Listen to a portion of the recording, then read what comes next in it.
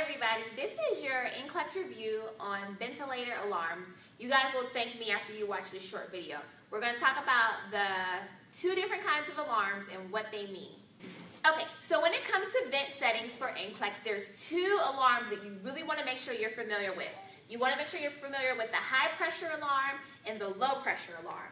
So if you have a question about a high pressure alarm, I want you to think blockage. Okay? Let me spell it right. All right. So um, there, this means that there's a lot of pressure that the vent is feeling when it's trying to give your patient um, oxygen. So when you see blockage, I want you to think either the tubing has become kinked or your patient needs to be suctioned and there's a lot of secretions that are blocking that passageway. Okay?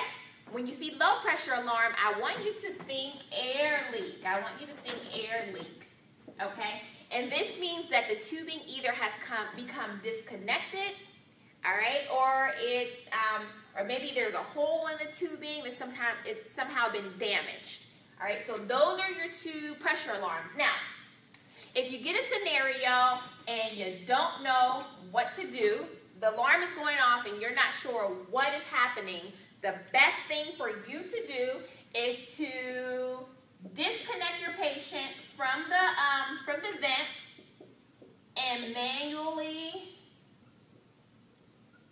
bag them, okay? So you're going to manually give them respirations until you can figure out what is going on, all right? This is safety. This is a totally safety issue for your patients, and you know you got to perform safely if you want to pass NCLEX. So thank you for studying with me. I will see you guys later. Bye-bye.